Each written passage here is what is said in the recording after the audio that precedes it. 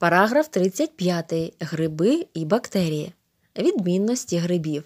Гриби мають ознаки і рослин, і тварин. Подібно до рослин, вони не рухаються, постійно ростуть. Проте гриби позбавлені хлорофілу і живляться готовими органічними речовинами, що отримують від інших організмів чи їх відмерлих решток. Цим гриби подібні до тварин. Більшість грибів має вигляд довгих ниток, які утворюють грибницю.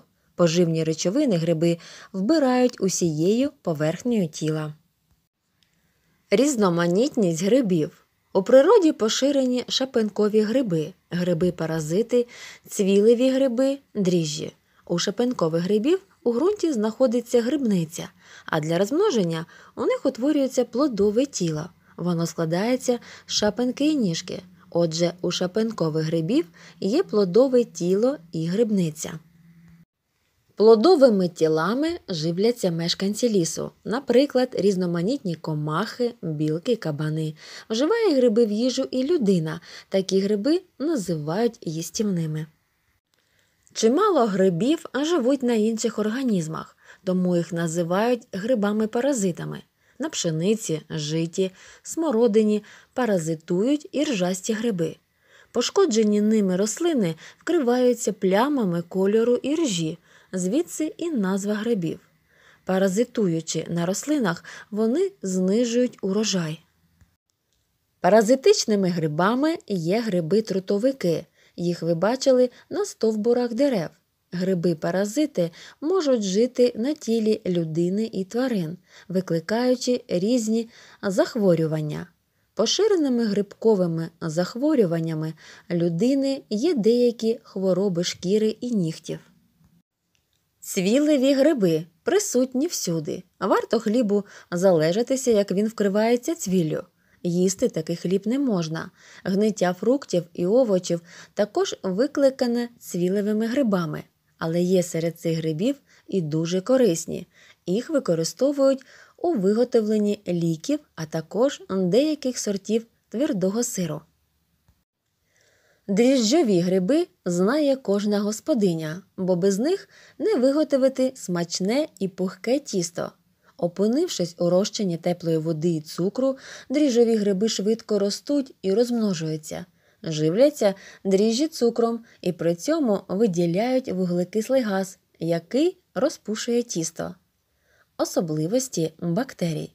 Бактерії надзвичайно поширені на земній кулі.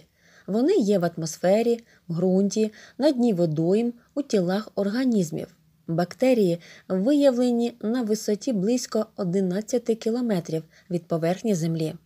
Птахи можуть піднятися у повітря лише на кілька кілометрів.